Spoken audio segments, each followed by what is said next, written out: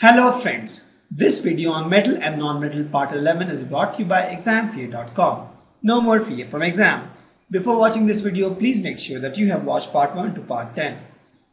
So till now we have done reaction of metal with something, reaction of non-metal with something, we have done reaction of metal with metal also, but we have not done reaction of metal with non-metal. What will happen if you react metal with non-metal? Let's see. So when a metal and non-metal react, the transfer of electron takes place from metal to non-metal. Why? Because this guy, if you see, metal is ready to give electron. Metal wants to give electron. Right? And non-metal always wants to take this electron. So if you see this electron is common here, metal always wants to give this electron and non-metal always want to take. For example, sodium will try to give electron to become Na plus and chlorine will try to take that electron to become Cl minus. And these are the stable state of sodium and chlorine and then they will be form a compound called NaCl. Correct? So why they do like this we'll explain maybe in the next two chapters where we'll explain the atomic structure and the valence electron, the shells where we'll tell why this metal has a tendency to lose electron and non-metals has tendency to gain electrons. We'll explain maybe in the next chapter. Next chapters, yeah. The compound formed in this manner by the transfer of electron, please know the transfer of electron, there is no sharing, this transfer electron from metal non-metal are called ionic compounds or electrovalent compounds, both are same. They are ionic or electrovalent compounds where actually the transfer of electron happens and there is a bonding that is created. Ionic compounds have strong electrostatic force of attraction between the positive and negative. They have very strong force and that's why they have high melting and boiling point. We'll, we'll explain that also. Ionic compounds have very strong the uh, attraction between them, the positive and negative ions. So before we uh, understand the ionic uh, thing, we'll, we'll explain uh, how the NaCl is formed. Let's understand the cell thing. So if you see this uh, metals, we are more interested in suppose sodium. Sodium has atomic number 11. That means it has this K element cell. We have learned this a very brief in this previous classes and we'll learn more little in the next class. But uh, just understand this 11. So it has 281 as the uh, number of electrons in the cell. The K shell will have 2, L will have 8, M will have 1. This M is 1. It, it see generally 8 or 0 is the uh, stable state, right? It should the formula is or the funda is the outermost outermost shell should be filled to be stable. Okay, that is the funda of all the reaction. The outermost shell should be filled to be stable.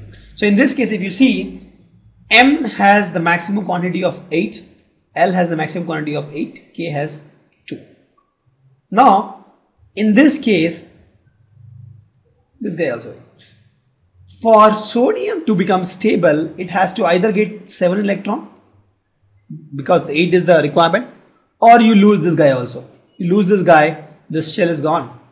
The next cell is this, already 8. So, sodium has two options, either to get 7 electron or to lose 1 electron. Gaining 7 electron is difficult. This world is very cruel. Nobody will give 7 electron to you. Why will other elements give? See, the elements behave just like human beings, right? So, sodium knows that gaining 7 electron for him is very, very difficult. Nobody will give him 7 electrons. But losing 1 electron is easy for him because anyway he is losing, he can lose that, right? So, for you to lose thing is easy to gain, but to gain is difficult. For example, money. So for you to spend money in a shop or in a mall is easier than to earn money. Same thing is the electron. Electron is like money for these atoms.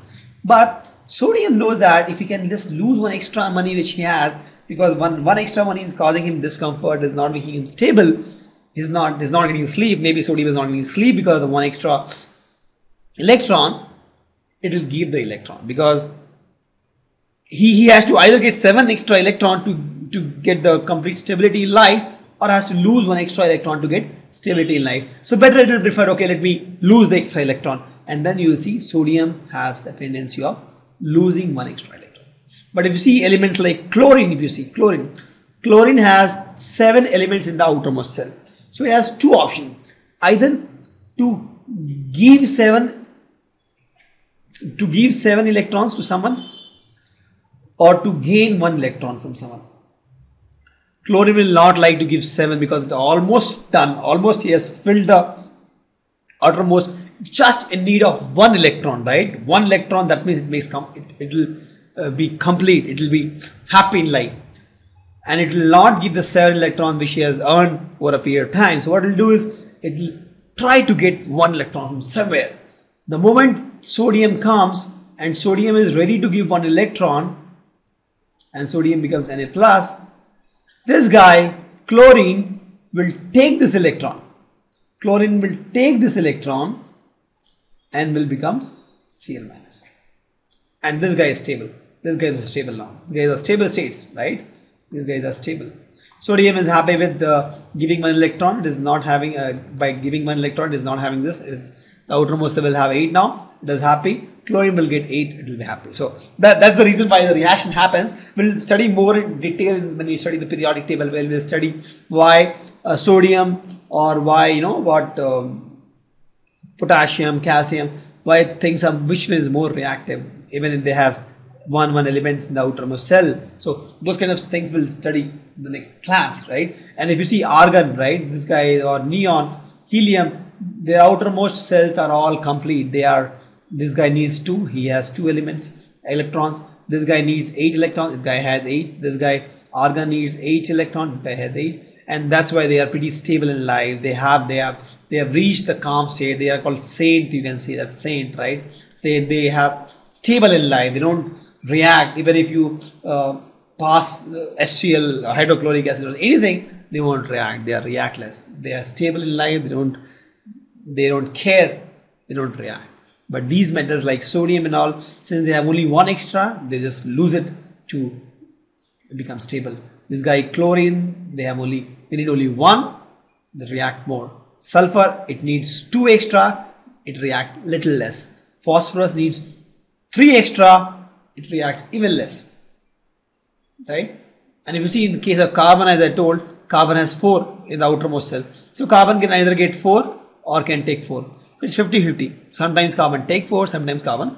So that's why the carbon forms covalent uh, a different kind of bond called covalent bond because it will it is neither willing to give 4 electron and nobody is giving to him uh, nobody is willing to give him 4 electrons right because he's saying, you know, I have got four, I may get four. So the carbon is a dices state, and that's why carbon has a unique properties. We'll learn that in the next chapter where we'll discuss more about carbons. But this is how the uh, the importance of electron shell shell in determining the reactivity of a metal and non-metal. Hope you understand this part. Why sodium is uh, ready to give electron and chlorine is ready to take electron. Thank you. Visit examfear.com to watch free educational videos Try free online tests, get the best quality study materials, study from the best tutors and mentors, and much more. Thanks once again.